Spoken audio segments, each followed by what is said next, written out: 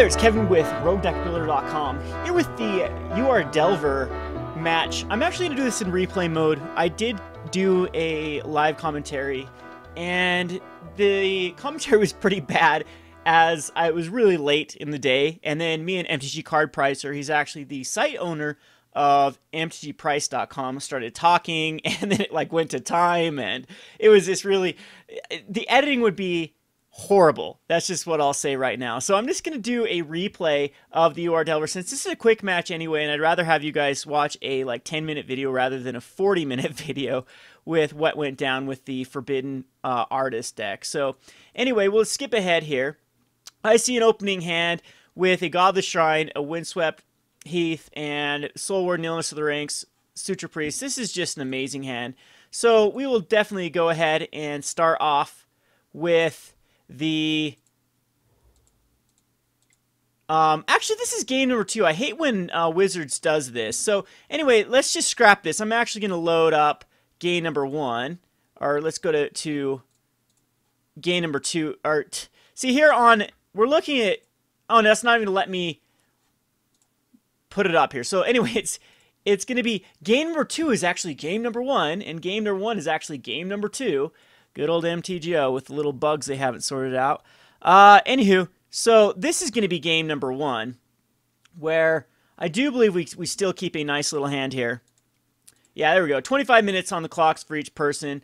There is a, a expedition map to go get the Forbidden Orchard. We have a Soul Warden. We have a, a Suture Priest. We have the Illness of the Rank. This is a great hand.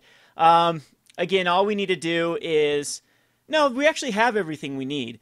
So we'll go ahead and he starts off with a Scalding Tarn and the first turn Delver, which is the one draw in Delver that's difficult for any Soul Sister build to actually beat. So that's a little bit troubling, but we do have the Soul Warden in another Thespian stage. So we'll go ahead and just put the, the Soul Warden out.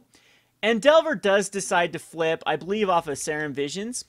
And he does cast the funniest card here which is the young pyromancer. In my commentary, I actually called it. I'm like, he is going to be so upset when he sees what I play this turn. So I'm going to go ahead and throw out the Illness Link. I got to go to Godless Shrine, so I'm down to 15 already. And we'll go ahead and hit the expedition map. So young pyromancer is completely locked down. Um, and in the comment commentary here, I just am like, I, I apologize to him. Like, it really is a combo piece. Because again, this is game number one. And he's playing against an unknown deck here, and I throw out an Illness of the Ranks main board. So that was pretty funny. Anyway, so he remands the, the Priest, but it does, you don't see the interaction here. It does create an elemental token, which immediately dies by Illness of the Ranks, and at least gives me a life. So I decided to at least spend my mana and throw out the other Illness of the Rank, and then attack in. Pretty funny that him by fetching and shocking twice, he's already down to 14 and a 13. Our life totals are pretty uh, similar. But this is getting scary. He's down to a. I'm down to a six. We get a blood artist here, and another thespian stage. So I'm just gonna go for the double double suture priest to try to gain a bunch of life. And this one does hit, and we're gonna put the other one out as well. And this one, I believe he does. Um, no, he Murderous Cuts on the suture priest. So I think I'd rather actually have a soul ward at this point because Suture Priest does not gain me life when he actually casts a card. And I was able to gain a life off that Murderous Cut. So I'm back up to a 9. And I decided to take it to a 4, but it's getting quite scary. I'm going to go an Expedition map for Forbidden Orchard. And I think the right play here is just to cast a Pride Mate. Oh no, Blood Artist I go for. Maybe maybe Pride Mate was the right play. I was just worried about it getting countered and I need to get as much uh, value off the Forbidden Orchard as possible. So I leave back the Suture Priest. I think, man, I really need to block the Young Pyromancer, but in hindsight, I don't because he can't even cast anything without me gaining uh, two life and doing a damage to him.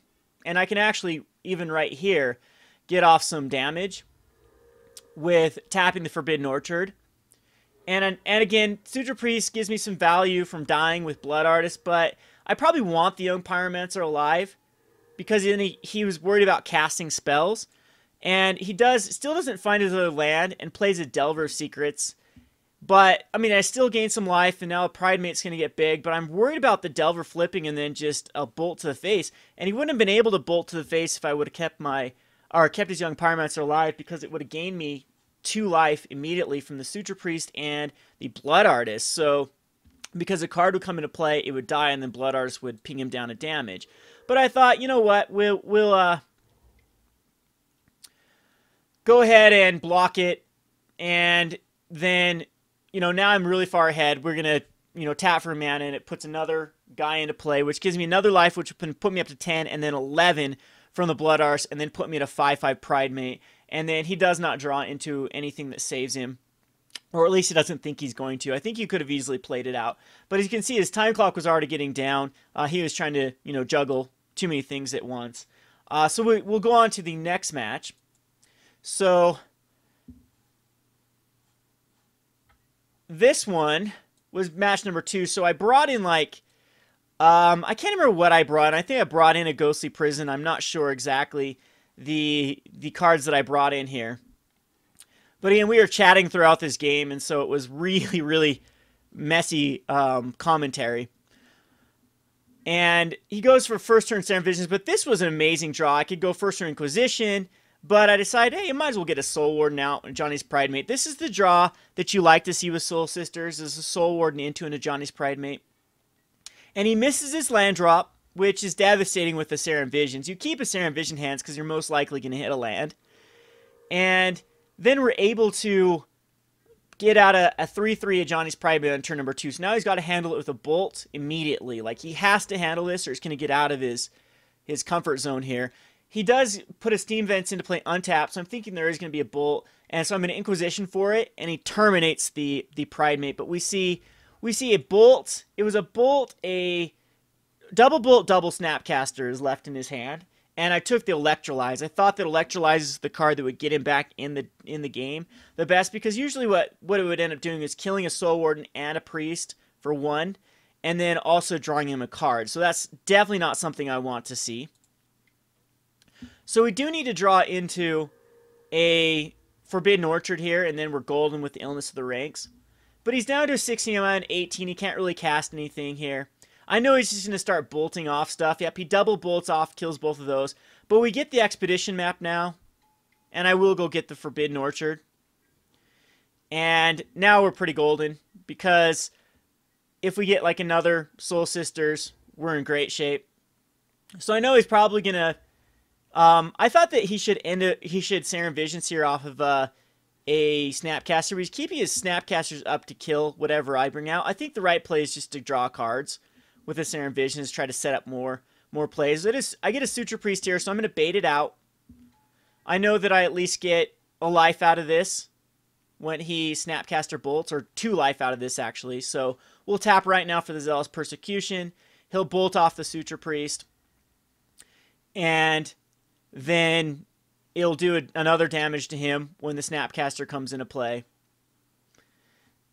So, got value out of it. He's down to a 12 or down to an 11, actually. And I know he's got one Snapcaster and one other in his hand, so he's going to attack me with the Snapcaster. I'm down to a 16. And I want really want to bait off the Zealous Persecution. And this play here is just one of my better plays. So I Suture Priest, I'm like, you know what? I bet with the mana open, he's going to Snapcaster Electrolyze and divide the damage. And then the Zealous Persecution is just going to be an absolute blowout. And that's what ends up happening. So he's going to Snapcaster, and he's going to target the Electrolyze. Now, he's going to decide to target one at the Suture Priest and one at me.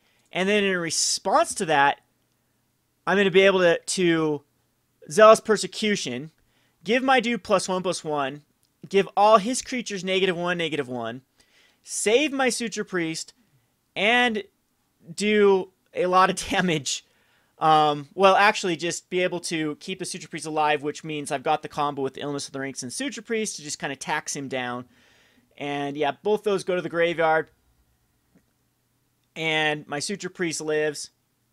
And huh, MTGO messes up and decides to, uh, the replay decides to go corrupt. But anyway, he ends up scooping after that because he draws into another card that is not, like, I can't remember what I drew into. Yeah, the, the replay is completely uh, broken here, but I think I, I draw into another Um, well, the Suture Priest alive, and I think I actually draw into another Suture Priest after that for my third uh, Suture Priest. But yeah, the game ends there quickly after that. But big shout out to MTG Card Pricer. He's the side owner of MTG Price. He actually gave me the um, you know, we got to talking and, and whatnot. He asked me if I use MTG Price, and I said I absolutely do use MTG Price. I call it the it's one of my holy trinity of websites I use for speculation. First of all, MTG Goldfish by far is my favorite um, site. www.mtggoldfish.com.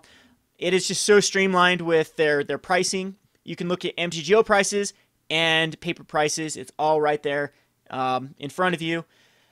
And but what I do like about MTG Price is it has a ton of analytics as far as like it has buy list prices, so you can go to different vendors and do buy list prices. It also has vendor prices, what they're selling it for, like Channel Fireball, Strike Zone, Abu Games, like all, all the the major players. It shows what they are selling the card for, but it also shows what they've sold it for in the past. So you can see if it's trending up or trending down based upon actual vendors, not just the TCG mid like MTG Goldfish uses. So MTG Price uses a the the whole of the market. It'll, it'll it'll average all the prices from all the vendors, eBay, TCG, and try to give you what's called a fair price. And I'll have to I'll do a review on MTG Price sometime and show you exactly how to use it. But they also have the the Pro Trader, and I was given a free six months just from talking with him. He's like, "Yeah, go check it out. Tell me what could." Um, what we could do better on the site with the the Pro Trader. And so far, I've been pretty impressed with Pro Trader. I'm gonna ask him for permission to actually do a video with Pro Trader and just show you exactly what it it offers. And if he's if he's if he gives the the, the okay, I'll I'll do a review of the Pro Trader, see if it's worth it or not for you guys to sign up for Pro Trader. Again, I'm not sponsored whatsoever by MTGPrice.com. It just was a friendly game. We got to talking and seemed like a pretty cool guy. And then you know he's like, hey, check out you know, check it out. Tell me what you think. You know, and when you're a personality like I am, like you know, I have a bit a large YouTube channel. People do tend to you know throw things at you and say, hey, just check it out, do a review and stuff like that. So again, no strings attached to it. I'm not trying to push MTG price on you. Anyway, and just out of fairness, my last out of the what I call the holy trinity for uh, price for websites that I use to actually price cards is mtgstocks.com. And I've done a review in the past on my channel with MTG Stocks. What I really like the, about MTG Stocks is it has some analytic tools like the the one that I use all the time is highs and lows. It shows you the all-time highs and all-time lows of a card. It'll actually give you like a little alert like today is for example, if it was like Forbidden Orchard, this is the lowest Forbidden Orchard's ever been and it will it, it shows you a good time to pick up cards and a good time to sell cards. A lot of times when they're on the, the all time high list, it's like, oh, it's hit its max or it's hit near its max. It's time for me to sell. So th- that's kind of MTG Goldfish, MTG Price, and MTG Stocks are probably my what I consider the holy trinity of speculation. So anyway, big shout out to MTG Card Pricer and his MTG Price site. I use it all the time. This was an amazing, amazing, uh, fun, friendly match and it was he didn't get salty or whatnot from a first turn illness of the ranks against a young pyromancer. It, the conversation was great. Again, I'm not gonna. Well, that's one of the reasons why I decided to do a replay. Is there was in the commentary there was a lot of uh, kind of personal information and whatnot being shared back and forth, and just out of you know the nature of, of how much it would take me to edit that out, I, I decided to do the replay. Hope you guys don't mind. This has been Kevin with RogueDeckBuilder.com. Thanks for watching.